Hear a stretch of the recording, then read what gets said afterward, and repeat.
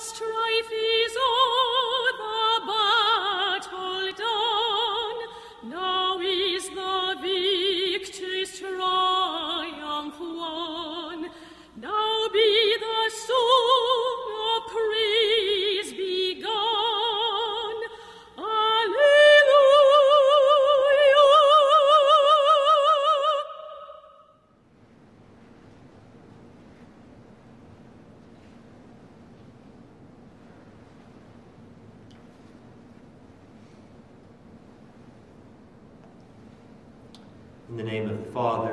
of the Son, and of the Holy Spirit. Amen. Peace be with you. And with your spirit. Brothers and sisters, the Church honors St. Charles Borromeo today, a 16th century reformer. Great man who gave his life for the Church and for our Lord. And the Lord invites us to do the same today. And so let us acknowledge our sins and so prepare ourselves to celebrate the sacred mysteries. You were sent to heal the contrite of heart. Lord, have mercy. Lord, have mercy. You came to call sinners. Christ, have mercy. Christ, have mercy. You are seated at the right hand of the Father to intercede for us. Lord, have mercy. Lord, have mercy. May Almighty God have mercy on us. Forgive us our sins and bring us to everlasting life. Amen. Let us pray.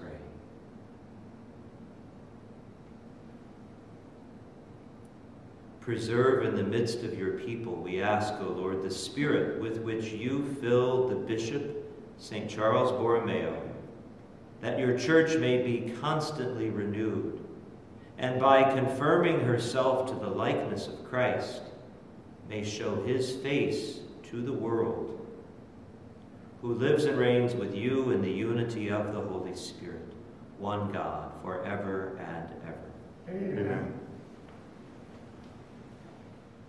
A reading from the letter of St. Paul to the Philippians. My beloved, obedient as you have been, not only when I am present, but all the more now when I am absent. Work out your salvation with fear and trembling. For God is the one who, for his good purpose, works in you both to desire and to work. Do everything without grumbling, grumbling or questioning, that you may be blameless and innocent, children of God without blemish, in the midst of a crooked and perverse generation, among whom you shine like lights in the world, as you hold on to the word of life, so that my boast for the day of Christ may be that I did not run in vain or labor in vain. But even if I am poured out as a libation upon the sacrificial service of your faith, I rejoice and share my joy with all of you. In the same way, you also should rejoice and share your joy with me. The word of the Lord. Thanks be to God. The Lord is my light and my salvation. The Lord is my light and my salvation. The Lord is my light and my salvation. Whom should I fear? The Lord is my life's refuge. Of whom should I be afraid? The Lord is my light and my salvation. One thing I ask of the Lord, this I seek, to dwell in the house of the Lord all the days of my life, that I may gaze on the loveliness of the Lord and contemplate his temple. The Lord is my light and my salvation. I believe that I shall see the bounty of the Lord in the land of the living. Wait for the Lord with courage. Be stout-hearted and wait for the Lord. The Lord is my light and my salvation.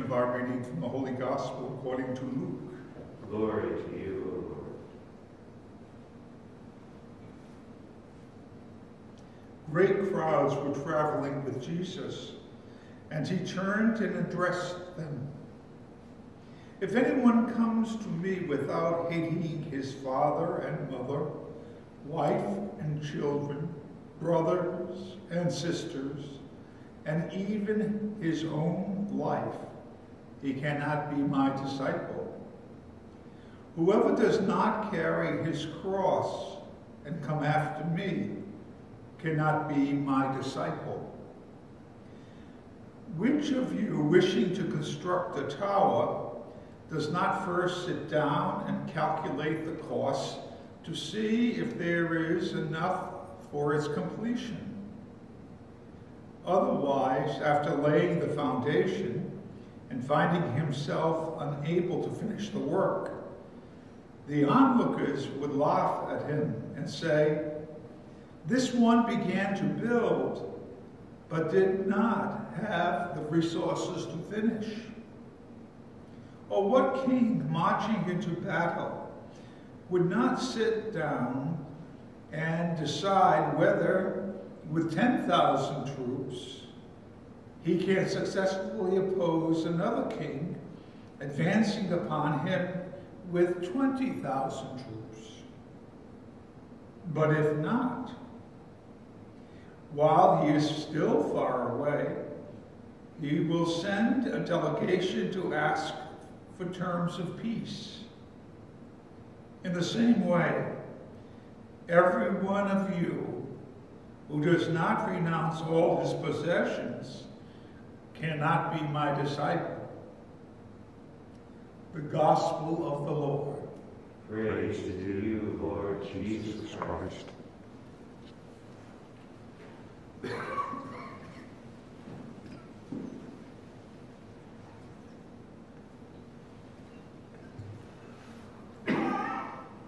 Imagine what we could do with 10,000 Toups. That's what it made me think of as you were reading that. Uh, my own last name. There are 10,000 Toups all over the world. St. Charles Borromeo is a man who truly renounced all of his possessions. He came from a, a position, a family of wealth, of power, and he renounced, renounced it all to follow the Lord and not lead a life of comfort, but rather chose the cross. He chose the more difficult path, which was to make other people uncomfortable by being a reformer by saying we've got to do better. In the 16th century church was one of the fathers of the Council of Trent and called his priests as the Bishop of Milan uh, to greater sanctity and service. Charles Borromeo models for us this reading of today's Gospel in Luke chapter 14. These are seemingly dark days dark times.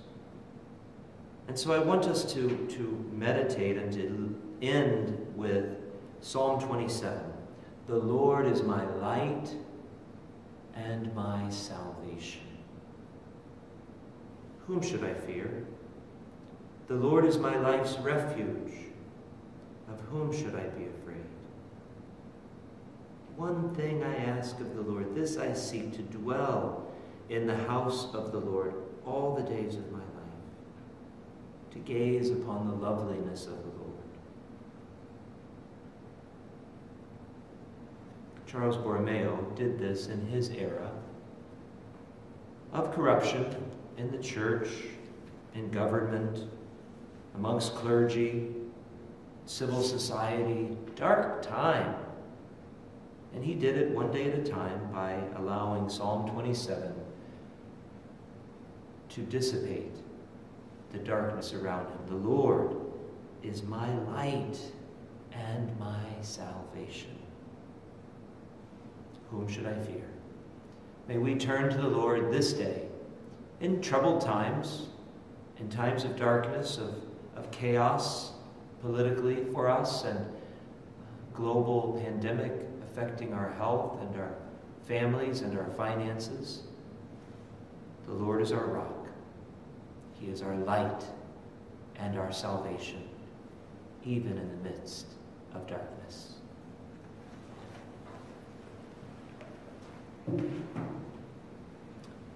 Trusting the Father to care for us as his beloved children, we now present our prayers to him.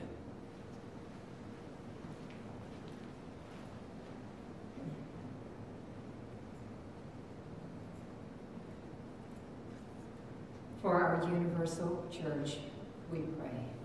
Lord, hear our prayers. For peace and harmony among all nations, we pray. Lord, hear our prayers. For the unity of all who believe in Christ, we pray. Lord, hear our prayers. For the health and salvation of all, especially those on our prayer list, we pray.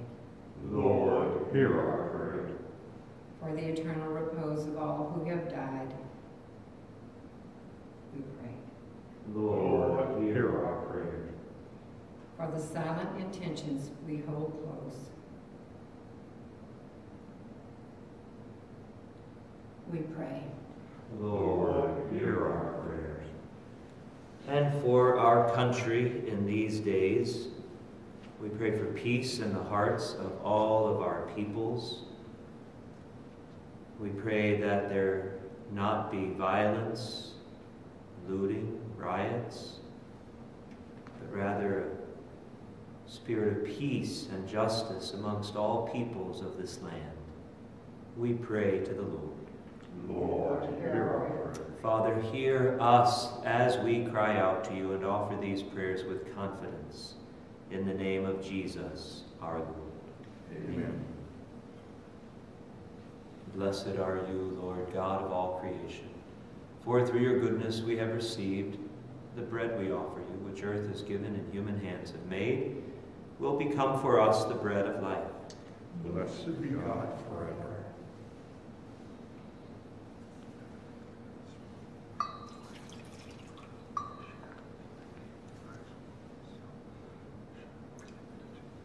Blessed are you, Lord God of all creation, for through your goodness we have received the wine we offer you, fruit of the vine and work of human hands, will become our spiritual drink. Blessed be God forever.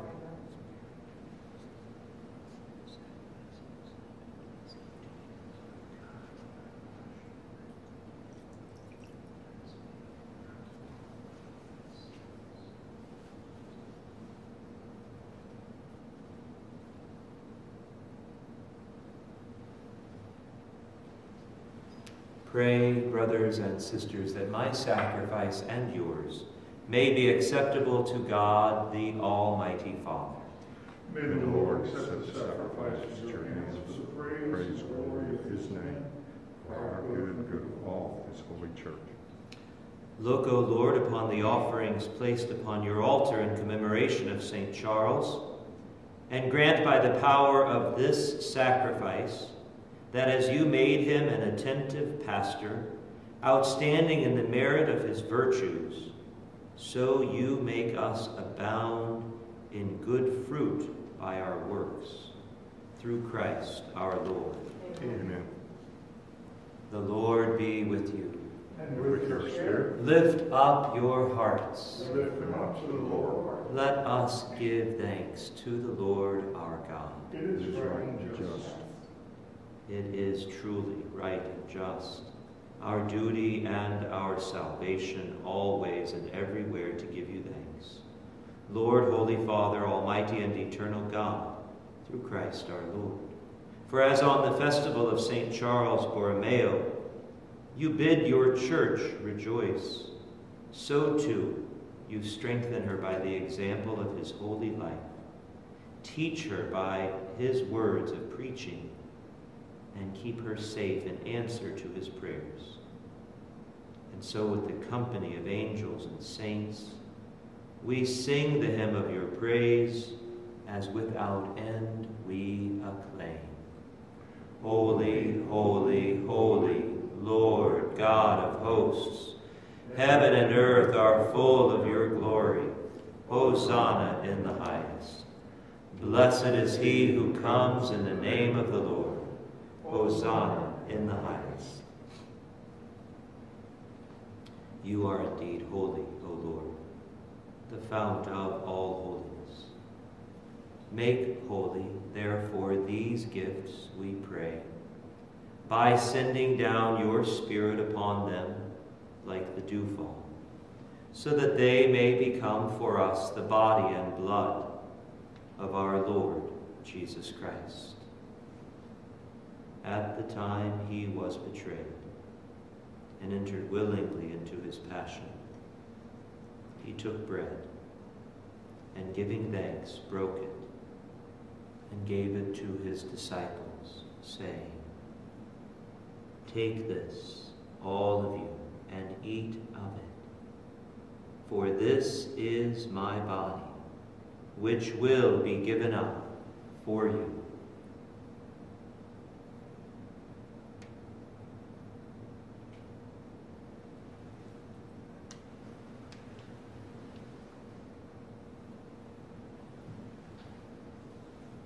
In a similar way, when supper was ended, he took the chalice and once more giving thanks, he gave it to his disciples, saying, Take this, all of you, and drink from it.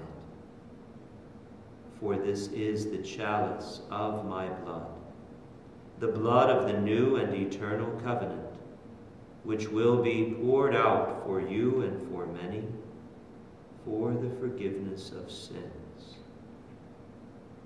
Do this in memory of me.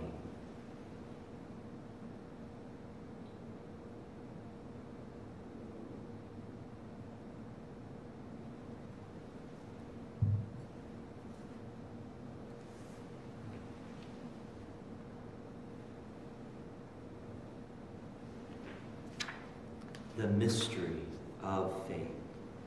Save us, Savior of the world, for by your cross and resurrection you have set us free.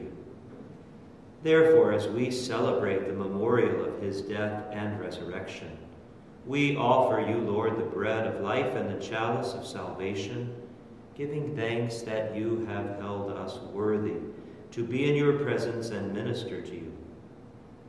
Humbly we pray that partaking of the body and blood of Christ, we may be gathered into one by the Holy Spirit. Remember, Lord, your church, spread throughout the world, and bring her to the fullness of charity, together with Francis, our Pope, and me, your unworthy servant, and all the clergy. Remember also our brothers and sisters who have fallen asleep in the hope of the resurrection, and all who have died in your mercy. Welcome them into the light of your face. Have mercy on us all, we pray, that with the Blessed Virgin Mary, Mother of God, with blessed Joseph, her spouse, with the blessed apostles and all the saints who have pleased you throughout the ages, we may merit to be co-heirs to eternal life, and may praise and glorify you through your Son, Jesus Christ. Through him, and with him, and in him, O God, Almighty Father, in the unity of the Holy Spirit, all glory and honor is yours, forever and ever. Amen.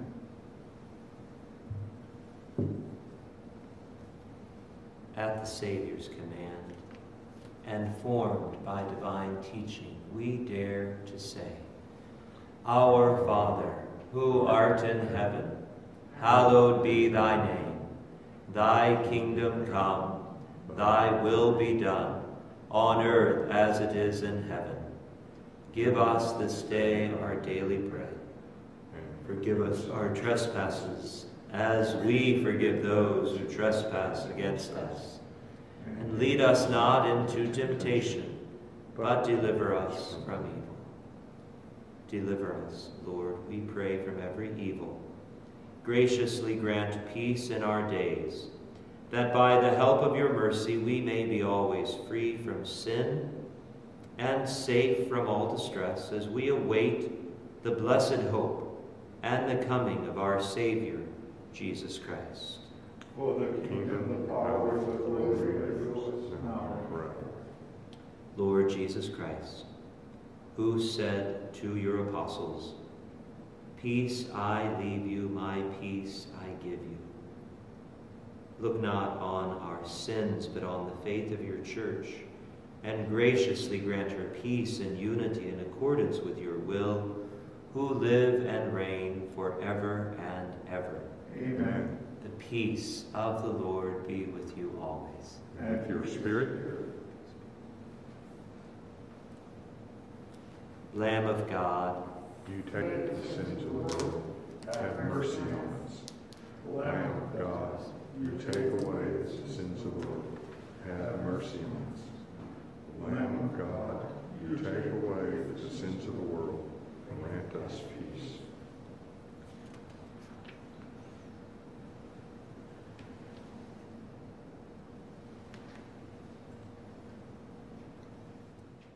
behold.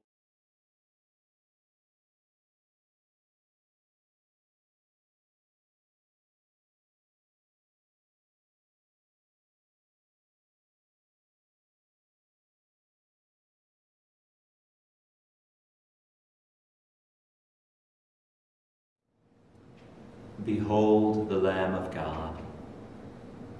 Behold him who takes away the sins of the world. Blessed are those called to the supper of the Lamb. Lord, I am not worthy that you should enter under my roof, but only say the word, and my soul shall be